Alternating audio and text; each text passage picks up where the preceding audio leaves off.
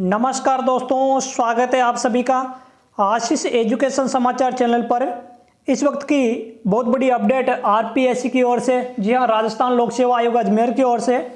RPSC second grade भर्ती 2022 जैसा कि आपको पता होगा, लगभग पाँच से छः दिन पहले, जी हाँ सत्ताईस जुलाई को जो है सेकंड ग्रेड भर्ती 2022 संस्कृत विषय का रिज़ल्ट विभाग ने जारी किया था। और जो आपत्ति के लिए समय दिया गया था, वह भी पूरा हो चुका है। और उसके बाद में आज आरपीएससी की ओर से संस्कृत सब्जेक्ट की काउंसलिंग कैलेंडर वो जारी कर दिया गया है।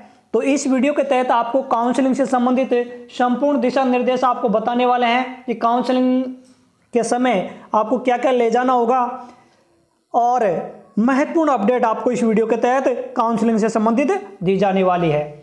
तो वीडियो में आगे बढ़ने से पहले आप सभी से छोटा सा निवेदन है, यदि आप हमारे चैनल पर अभी नए हैं तो शिक्षा विभाग से जुड़े इस आशीष एजुकेशन समाचार चैनल को ज़रूर सब्सक्राइब करें। दोस्तों, आप सभी के लिए बहुत ही कम समय में ऑथेंटिक और विश्वसनीय अपडेट लेकर के आते हैं। इस चैनल पर आप विभागीय आदेश, रोज़गार, समाचार, रिजल्ट्स, आंसर कीज, दैनिक समाचार, आगामी भर्तियों की घोषणा, ये सभी अपडेट बिल्कुल ऑथेंटिक और सबसे कम समय में प्राप्त कर सकते हैं। चलिए, ले चलते हैं आरपीएससी सेकंड ग्रेड भर्ती। संस्कृत सब्जेक्ट की काउंसलिंग से संबंधित महत्वपूर्ण जानकारी के साथ वीडियो में आगे। दोस्तों, देख सकते हैं, जैसा कि आपको यहाँ पर वीडियो के स्क्रीन में दिखाया जा रहा है, राजस्थान लोक सेवा आयोग अजमेर की ओर से प्रेस विज्ञप्ति। आज की डेट देख सकते हैं, वरिष्ठ अध्यापक प्रतियोगी परीक्षा 2022 विशेष संस्कृत के अभ्यर्थियों की पात्रता की जाँच हेतु आयोग द्वारा विचारित सूची, जी हाँ जो प्रोविजनल लिस्ट है, वह सत्ताईस जुलाई को जारी की थी। शेष विषयों की विचारित सूची जारी करने की कार्रवाई प्रक्रियाधीन है और जो अन्य सब्जेक्ट हैं ग्रुप सी या ग्रुप डी या ग्रुप ए बी जो भी हैं, उनकी भी प्रक्रियाधीन है और आज सेकंड ग्रेड भर्ती मैथमेटिक्स या गणित सब्जेक्ट का रिज़ल्ट भी आरपीएस की ओर से जारी कर दिया गया है। उक्त विचारित सूचियों में सम्मिलित अभ्यर्थियों के विस्तृत आवेदन पत्रों की जाँच आयोग द्वारा आयोजित काउंसलिंग के माध्यम से दिनांक 10 अगस्त 2023 से 23 अगस्त 2023 तक। जी हाँ 10 अगस्त से लेकर के 23 अगस्त 2023 तक राजस्थान लोक सेवा आयोग, घुघरा घाटी, अजमेर, राजस्थान परिसर इसमें की जाएगी। जी हाँ 10 अगस्त से लेकर के 23 अगस्त तक संस्कृत के अभ्यर्थियों की काउंसलिंग होगी। जानते पूरी अपडेट? पात्रता जाँच उपरांत अंतिम परिणाम जारी किया जाएगा। जैसा कि आपको पता होगा, डॉक्यूमेंट वेरिफिकेशन के बाद में फाइनल परिणाम विभाग की ओर से जारी किया जाएगा। काउंसलिंग कार्यक्रम विस्तृत आवेदन पत्रों के संबंध में आवश्यक दिशा निर्देश, काउंसलिंग पत्र व अन्य प्रपत्र आदि आयोग की जो वेबसाइट है W W W dot R P S C dot Rajasthan पर जारी किए जा रहे हैं। जिन्हें अभ्यर्थी संबंधित विषय की काउंसलिंग दिनांक से सात दिन पहले, ध्यान दें, अभ्यर्थी संबंधित विषय से जो काउंसलिंग है, उसकी सात दिन पहले आयोग की वेबसाइट पर जारी किए काउंसलिंग कार्यक्रम के प्रेस नोट में अंकित अनुसार डाउनलोड करें और भरे हुए विस्तृत आवेदन पत्र की दो प्रतियाँ। ध्यान दें भरा हुआ जो आपका विस्तृत आवेदन पत्र होगा, उसकी दो प्रतियाँ मैं स्व प्रमाणित जी हाँ सेल्फ अटेस्टेड डॉक्यूमेंट की एक प्रति व मूल दस्तावेज़ जो आपके ओरिजिनल डॉक्यूमेंट्स है, उनके साथ में निर्धारित दिनांक और समय पर आपको जो है उपस्थित होना होगा। इस हेतु अभ्यर्थियों को आयोग द्वारा प्रत्यक्ष से कोई ऑफलाइन पत्र जारी नहीं किया जाएगा। ध्यान दें, आपको जो निर्धारित समय बताया गया है, उस समय पर आपको काउंसलिंग हेतु जी हाँ डॉक्यूमेंट वेरिफिकेशन हेतु पहुँचना होगा। इसके अलावा जान लेते हैं और अपडेट काउंसलिंग हेतु अभ्यर्थी निर्धारित समय पर आयोग परिसर में काउंसलिंग स्थिति पर उपस्थित होंगे अन्यथा निर्धारित दिनांक एवं समय पर काउंसलिंग में उपस्थित नहीं होने पर अभ्यर्थी को काउंसलिंग से वंचित कर दिया जाएगा। ये भी जान सकते हैं। अब आपको लिस्ट बताई जाने वाली है। नीचे। जी हाँ।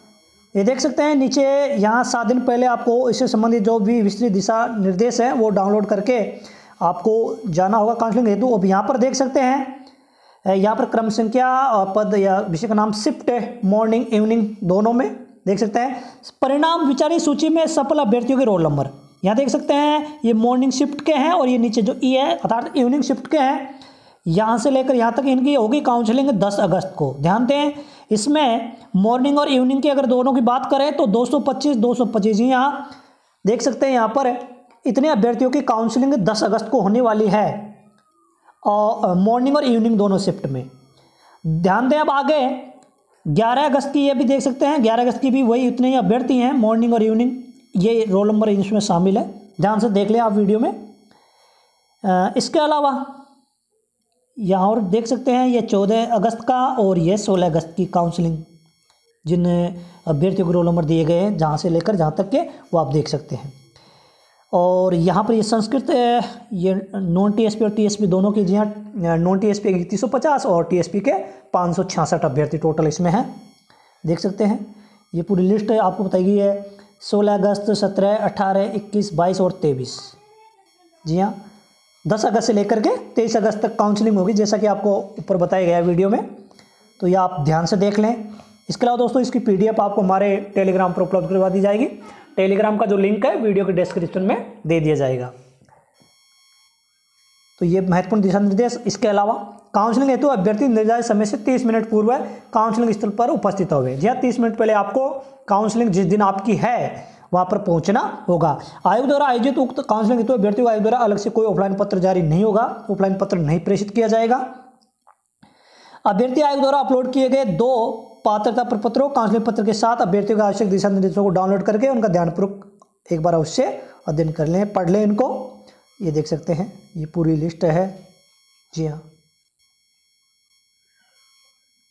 ये विस्तृत दिशा निर्देश है आपको सात दिन पहले आयोग की वेबसाइट से डाउनलोड कर लेना है और उसके अनुसार आपको जिस दिन आपकी काउंसलिंग है वहाँ पर पहुँचना है।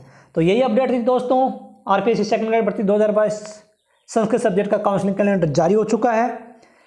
आशा करते हैं आप सभी को वीडियो पसंद आएगा दोस्तों, वीडियो पसंद आए तो वीडियो को ज़रूर लाइक करें और यदि आप हमारे चैनल पर अभी नए हैं तो प्लीज़ चैनल को ज़रूर सब्सक्राइब करें। इसके अलावा वीडियो को अधिक से अधिक दोस्तों के साथ शेयर करें। मिलते हैं एक और नए वीडियो के साथ। तब तक के लिए धन्यवाद।